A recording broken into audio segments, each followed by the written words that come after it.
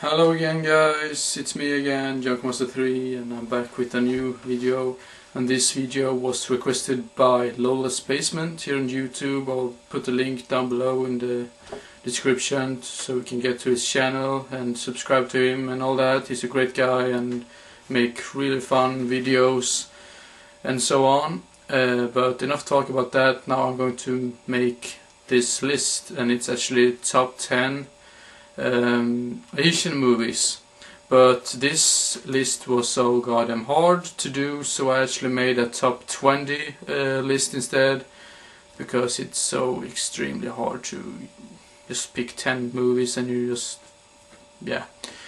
So I actually decided to make a top 20 instead, and um, I've also uh, chosen to include like uh, sequels and prequels, but if it's like a trilogy or two movies uh, like a sequel I decided to make it like one place. So two movies like can be at one place um, at the same time. So uh, yeah I think you understand what I mean. So let's begin immediately. Number 20 we got a nice uh, really nice looking samurai movie and it's with zombies or zombie or whatever. Samurai zombie directed by Takashi Sakaguchi a really nice looking movie. It was a while since I saw it, so I got to rewatch it again, so I can't really say that much about it, so yeah. Anyway, Samurai Zombie. And at number 19, we got the two movies, Tetsuo, the Iron Man, and Tetsuo Body Hammer. Um, and like I said, it's, it can be two movies in one if you say so. Uh, this is some really crazy stuff actually, so uh, this is not really a I don't see it as a movie. I just see it as a uh, is an experience. So uh, if you want a really nice and cool looking experience, check out Tetsuo. Um, yeah, really nice. I, re I, I, mean the first one is in black and white, and the second one is in color. But I, I really like them both. But I think I like Iron Man a little bit more. But yeah, Tetsuo. Uh, not the third one. No, there's a third one out there, but I haven't bought that one yet. So. And number 18, we got a really nice and funny um, splatter adventure action movie, whatever you want to call it. And it is Alien vs Ninja. And I know very many people hate this movie. I just gotta love it because it's so bad and it's so fun. So yeah, really fun stuff. So and it's not really not it's not really that long either. It's just one hour and 20 minutes. So yeah, it's still it's really a nice movie. Alien vs Ninja. And number 17, we got an extreme movie. This is probably the only extreme movie on this list, I believe. Well, maybe not, but uh, the movie is um, made by Koji Shira Shirashi. Can't really pronounce his name, but the movie is grotesque. Oof, it is grotesque.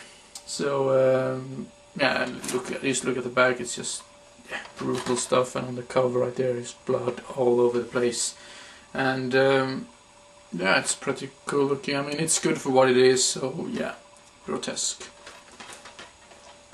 And number 16, we got sort of a sci-fi action movie. Also from Japan. I think all of these titles that I've shown you is from Japan. But yeah, anyway, um, number now I've lost count again, sorry. Uh, number 16 we got Returner. Um, some people say that it's some sort of a Japanese movie that is compared with Matrix. I don't really see why this is Matrix. I mean, maybe some similarities, but I don't. I wouldn't say that it's like Matrix. But uh, it's really enjoyable and good, and yeah, great action sequences, and some people actually is complaining about the special effects and everything. I thought it was amazing, so yeah, Returner, number 16. And number 15, we got an uh, uh, Takashi Miike movie, and probably the most known uh, Takashi Miike movie as well. And the movie is Audition. And it starts like a drama movie, but in the end it just turns... It's just like a horror movie in the end, so yeah, really creep, creepy feeling when you're watching this movie, and um, the acting the acting in this movie is really great uh, as well. So uh, yeah, very creep as well. Yeah, check it out if you haven't seen it. Audition. And number number fourteen, we got uh, John Woo's Hard Boiled with um, Chow Yun Fat. And if you're a fan of John Woo, you really need to see this movie. This is one of his best, in my opinion, of those that I've seen. So um, yeah, great. I mean, it's just so explosions everywhere and motorbikes and cars and yeah, great action sequences in this. I mean, if you're looking for a really deep plot, don't pick this movie. Uh, this is just mostly like action, just pure action. So yeah, hard boiled. And number 13 is a movie that I didn't saw for. I, I it was a while since I saw it now, but the movie is called Goemon. Um, I had some problems with this, and it was the special effects that I wasn't really a that big fan of. But uh, I still like the movie, and if you look at if you look uh, at this movie at like a big screen, um, it just makes it even better in my opinion. But yeah, sort of war movie.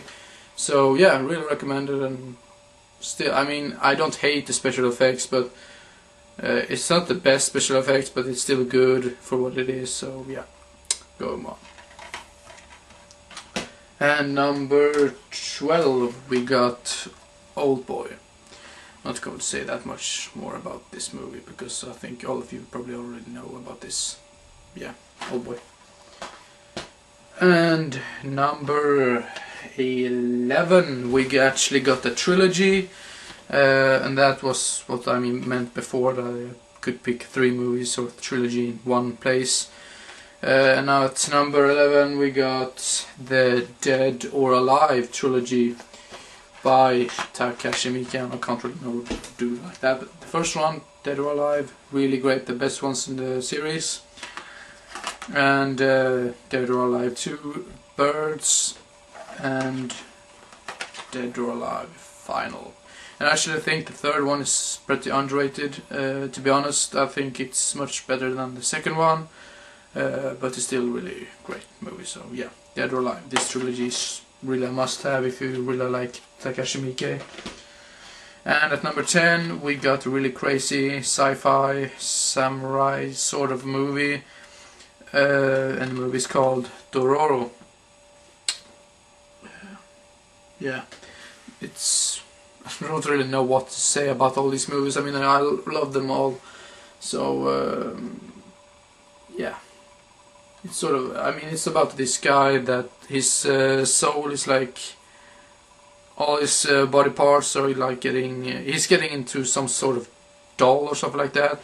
Uh, not like Pinocchio, but uh, he has got these blades instead of his hands and all that and he fights to get his uh, body back so he has to defeat all kind of different monsters and so on to get uh, back all his body parts so yeah really great movie and number nine we got a movie by uh, Kitamura and um, yeah don't really know what else to say but I think I've mentioned this movie before but Sky High.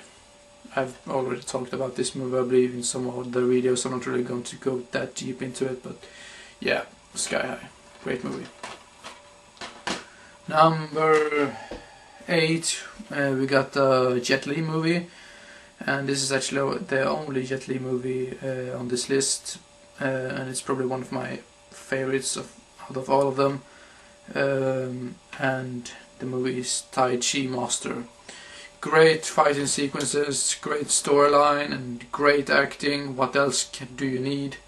Uh, and with, when it comes to Jet Li, he really knows how to kick ass. So yeah, Tai Chi Master, really, really great movie. I think it's a no, it was not a two disc. I thought it was a two disc uh, special edition, but there was a lot of special featurettes, like you can see here on the back. But yeah. and number seven is um, a movie that I saw pretty recently, uh, actually just a couple of days ago, I believe.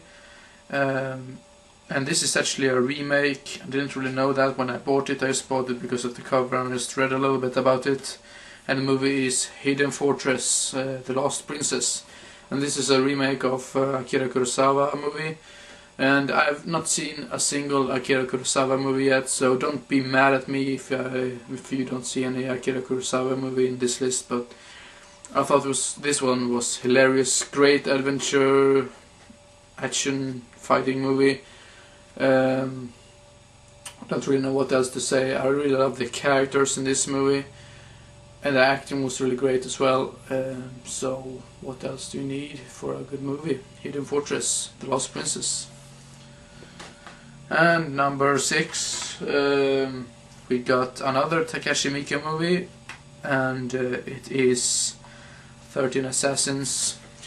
And I really love the storyline in this and uh, just just the title 13 assassins just looks just sounds amazing and um, the final battle in the movie makes the whole movie even even better. And it's pretty violent and gruesome at parts but what the hell it's probably one of the best Miike movies recently uh, made recently. So uh, yeah 13 assassins if you haven't seen it check it out. Um, yeah and at number five, we got another Takashi Miike movie, and this is my favorite Takashi Miike movie of all time. And it's also probably one of his most uh, disturbing uh, movies, actually. And the movie is Ichi the Killer. And uh, like probably with all of uh, Takashi Miike movies, uh, I love uh, the storyline in his movies and just all the kind of different characters and all the weirdness so uh, yeah, if you haven't seen it, I'm not really going to say anything else about this. But if you look, if you find this movie for a good price, pick it up immediately. Yeah, great movie, Ichi the Killer. And number four uh, is a movie that I've probably seen like 20 times or even more, and I never get tired of it. And it's, in my opinion, Jackie Chan's best movie that he's been in, and the movie is New Police Story and I prefer this over Police Story and um, Super Cop. The reason why is, uh, I mean, it got both humor and, uh, I mean, it's Police Story is just like uh, the first Police Story. It's like a sort of a comedy in some places and all that. This is not that. It's this is more serious uh, and uh, yeah, great stunts by Jackie Chan himself and great acting, and I really love the bad guys in the movie, and yeah, all the chase, uh, chases, and yeah, great. New Police Story. Much better than Police Story, in my opinion. And at number three, we got another Kitamura movie, and uh, the movie is Versus. I picked this up for like 10 Swedish crowns, and that's about that is like uh, a little bit more than one dollar and that's one of the best one dollar that I've ever spent. Um, this is just awesomeness and this is I think this is a pretty low budget movie but I don't see how this is a low budget movie because I think it's a masterpiece. Um, and all the craziness I mean it's zombies and there's samurai fighting scenes and gunfights and all kind of crazy things going on in this movie. So if you want to see a really crazy and awesome movie, check out Versus. And at number two, we got the two movies Battle Royale and Battle Royale 2. Um, sorry for the reflections like that, all, by the way. But uh, I don't really see why everyone seems to hate the second movie. I love this movie as well. Uh, maybe not the, as much as the first one. The first one is of course much better, but I don't really I don't really know why everyone hates this movie. It's really great. This is a masterpiece, and this is definitely a masterpiece as well. Battle Royale, the first movie. Um, I'm not going to say anything else because because I'm speaking about these movies all the time. So yeah, Battle Royale. And at number one we got one of one of the best movies that I've ever seen uh, from Asian uh, and of out of all movies that I've seen, uh, and the movie is Azumi and Azumi 2. Great samurai movies. I love the acting and the all the kind of different characters and the sword fights and and the storyline and everything. Um, and the first one is also directed by Kitamura. The second one I can't really remember. Can't really remember who the who, who directed the second one. I can't even pronounce his name, so I'm not going to bother. But yeah, if you haven't seen these movies, Azumi and Azumi 2, go out and see them immediately. You won't be disappointed.